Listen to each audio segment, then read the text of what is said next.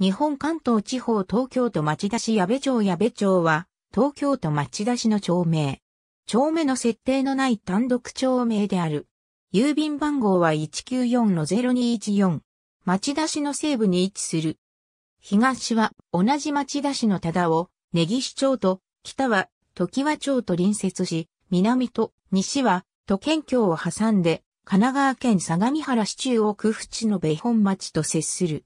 西から南へ、都県境に沿って、境川が流れる。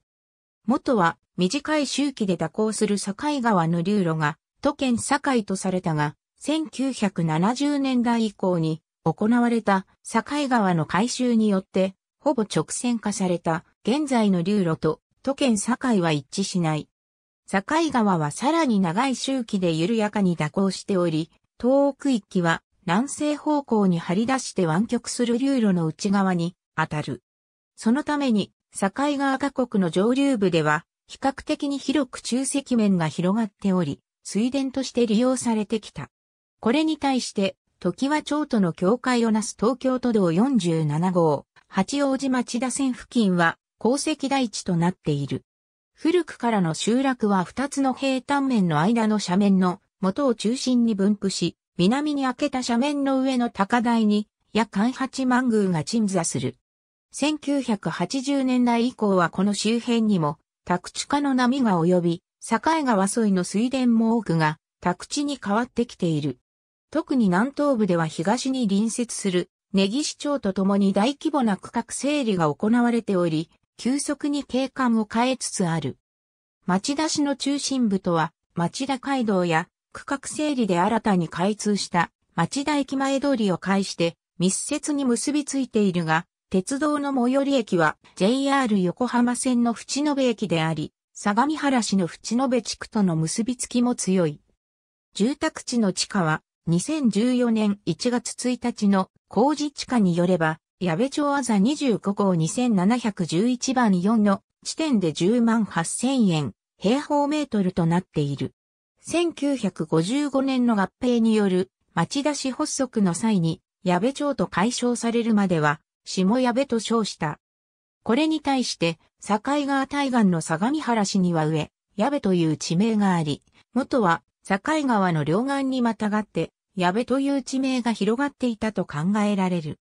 平安時代末期から鎌倉時代初期にかけて武蔵国南西部から相模国北部で活動した横山島と呼ばれる武士団に矢部氏の名が見られ、相模原市側も含めた遠区域の周辺を本拠としていたとされている。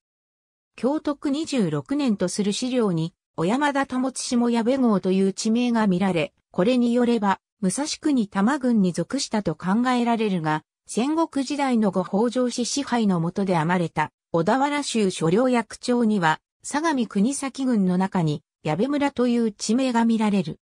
1594年の検地の際に、境川が武蔵国と相模国の境界として確定され、右岸の相模国側は、高座郡城矢部村とされた。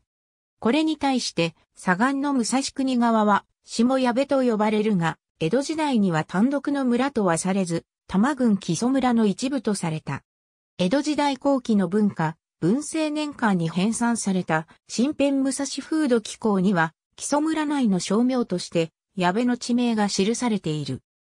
1878年の軍区町村編成法により従来の町村が末端の行政区画として再編成された際に南玉郡木曽村の一部とされ、1889年の町村制施行に際する明治の大合併でも南玉郡忠尾村の大あざ木曽飛び地の字とされた。